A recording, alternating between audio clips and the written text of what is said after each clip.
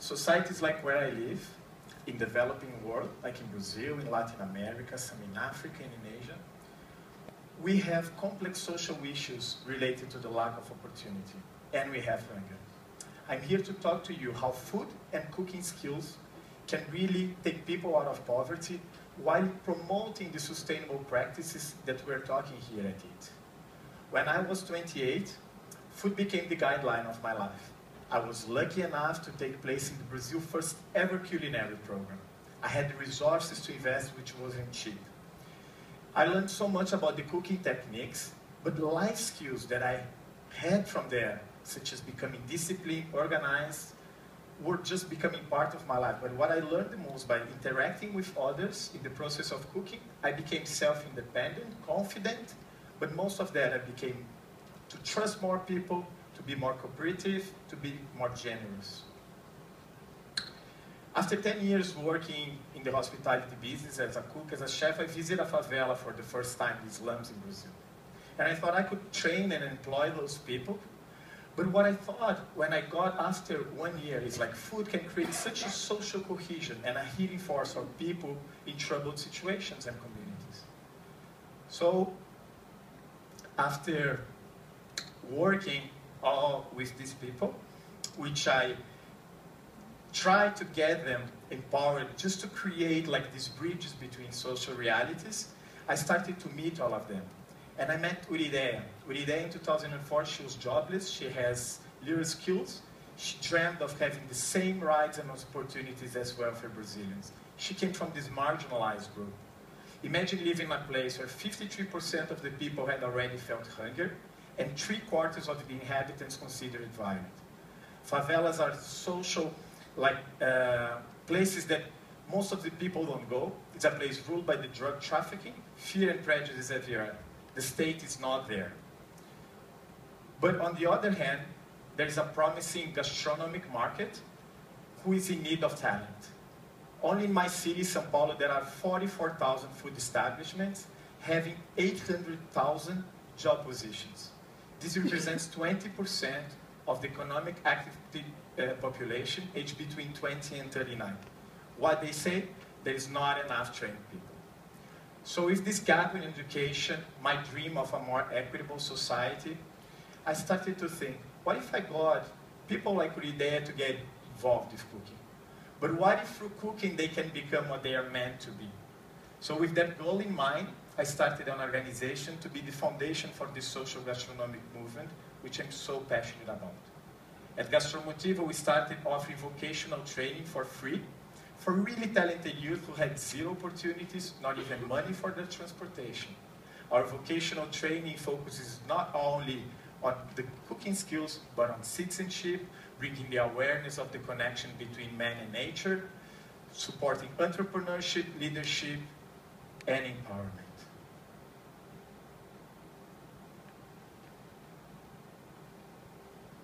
We partner with more than 70 restaurants who financially support part of our program, but what they do, they support us giving employment to all of them. 90% of our trainees are still, are still working two years after their graduation. This year alone, we will train 1,000 people in four different cities in Brazil. But how we scale? So now we're starting to take our program to prisons in Brazil. It's becoming a public policy in the state of São Paulo. We're also working with immigrants coming from Peru and Bolivia who cannot get connected with the society, who need to get jobs. But we go beyond that. Using peer-to-peer -peer education, our trainees become teachers themselves. And they go back to their communities and they have to replicate what they learned. What they are teaching, how to cook, how to have a healthy life, how to use fresh ingredients when in a place that is full of salt and sugar, as we all know, and then they get connected to their families. They become these community leaders. And this is what's happening in Brazil. That's how we replicate, with them going everywhere. So then, how do we make this like more mainstream? We believe cooking is the fastest, the strongest, and the most powerful tool to generate social inclusion. It can be done everywhere. It's an endless learning process. So you are witnessing the rise of a social gastronomic movement. Last year we researched for more than 80 organizations around the world in 14 different countries who are using social gastronomy to provide inclusive uh, workforce development. So people from all walks of life now, they have an, uh, practical skill, a collaborative way, and a holistic way of society to embrace them. Men re recently released from prison in UK, orphanages in Vietnam. So all these new baristas, wait staff, cooks, that these organizations provide like us from Motiva, are now becoming one thing from all the chefs in the market. But how, how do we create this? How do we scale this? How do we make like what I mentioned, Gastromotiva, gastronomy social, mainstream? We see going to two directions. The first is actually getting the restaurant owners like we got in Brazil, the chefs, engage and open up their kitchen for, for teaching. We have many chefs from all over the world, top chefs who are now replicating what we do, and we share technology. But on the other way, we have to work with the governments. We have to work with the bilateral agencies, agencies such as the World Bank, the Inter-American Development, the World Economic Forum, and then we can get mainstream. I'm sure and I'm positive and I can see, witnessing how this movement is growing, growing faster and faster in these last couple of years. So Urideia, she became a mother and entrepreneur. She employs more than 20 people in her community. She found a place of love and pride deep in her heart, in her heart that no difficulties can take away her commitment to live with love and pride. So let me address here, we are talking how can we feed 9 billion people, healthy with options. Well, from my experience, you need to get people who are on the ground to find a solution.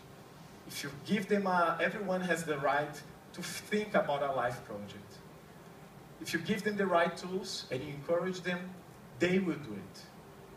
I have a story like when they went to, to replicate the project. So this lady with these apprentices, with four of her people in the same class, they found some Syrian women coming from Syria from the war who didn't talk, didn't go out in, the, in their city, in Sao Paulo, in their neighborhood, just afraid. They didn't know even the language. So they started to cook together the sweets, and they started to do in, in Sao Paulo with less ingredients, cheaper ingredients, how to engage with the community and become a source of income. So now our restaurants are buying the halewa, all the sweets from them. So that's the transcendence of this movement. It can be done anywhere. So I need you, your advice on how can we make this uh, mainstream. It goes beyond one meal, one kitchen, or a Michelin star. In the end, we are all seeing here, food is about people. Thank you so much, and thank to EAT and everyone.